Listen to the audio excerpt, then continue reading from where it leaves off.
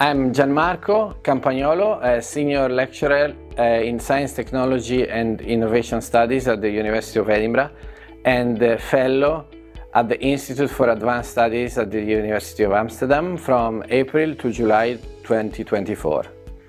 So in my research, I look at the science behind uh, football analytics.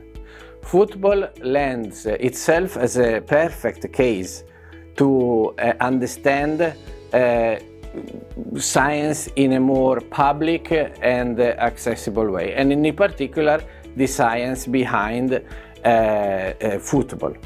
Um, increasingly, uh, in football, uh, there is an application of numerical understanding, numerical approaches, statistics originally, and more recently, contemporary uh, application of artificial intelligence. So football becomes a medium to uh, make the controversies related to artificial intelligence more more public and more accessible.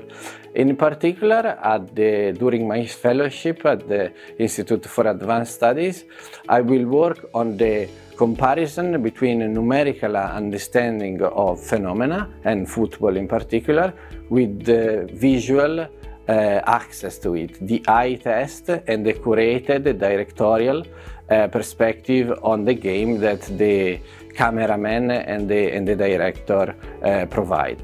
And see how the image tradition of uh, visual image and the logic tradition of number uh, compare, whether they need to be better uh, integrated or there is a disunity uh, Uh, between them.